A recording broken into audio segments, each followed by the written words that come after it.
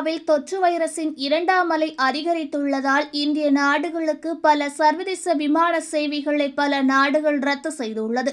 அந்த வரிசையில் இந்தியா இலங்கை பயணிகளுக்கு தடையை நீட்டிப்பதாக இத்தாலி அறிவித்துள்ளது. இந்தியாவில் தொற்று வைரஸின் இரண்டாம் அலை தாக்கம் தீவிரமடைய தொடங்கியது. இந்தியாவிலிருந்து பயணிகள் இத்தாலி வர தடை விதிக்கப்பட்டது. கடந்த ஏப்ரல் மாதம் இறுதியில் இந்த தடையானது இத்தாலி அரசால் அமல்படுத்தப்பட்டது. மேலும் மே முப்பத்தி ஒன்றுடன் இந்த தடை முடிவுக்கு வர இருந்த நிலையில் தற்போது இந்தியாவில் தொற்று வைரஸ் பரவல் குறையாததால் வரும் ஜூன் இருபத்தி ஒன்றாம் தேதி வரை இந்த பயண தடை நீட்டிக்கப்பட்டுள்ளது. மேலும் இந்தியாவை தவிர இலங்கை வங்காளதேசம் ஆகிய நாடுகளிலிருந்து இத்தாலி வருவதற்கும் ஜூன் இருபத்தி ஒன்று வரை தடை நீட்டிக்கப்பட்டுள்ளது. இருப்பினும் இத்தாலி குடிமக்கள் வருவதற்கு இந்த தடை பொருந்தாது என்று இத்தாலி அரசு கூறியுள்ளது.